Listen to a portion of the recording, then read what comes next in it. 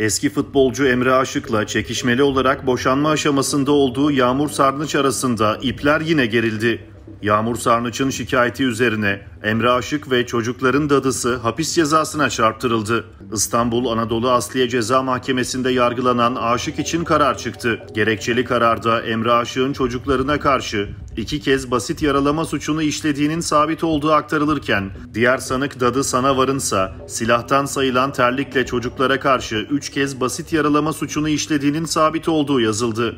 Sabah gazetesinden Seda Nur Günaydın'ın haberine göre dosyada bulunan tüm deliller kapsamında sanık aşık çocuklarına karşı işlediği basit yaralama suçundan 6 ay 44 gün hapis cezasına çarptırılırken çocukların dadısı olan sana varsa 6 ay 45 gün hapis cezasına çarptırıldı. Kararda babalarının yanında olan çocukların vücutlarında morluklar ve ezilmelerin tespit edildiği bildirildi. Çocukların annelerine babalarının boğazlarını sıktığını, kulaklarını çektiğini ve dadıları olan sana varınsa onları karanlık odaya kilitleyip terlikle vurduğunu anlattığı açıklandı.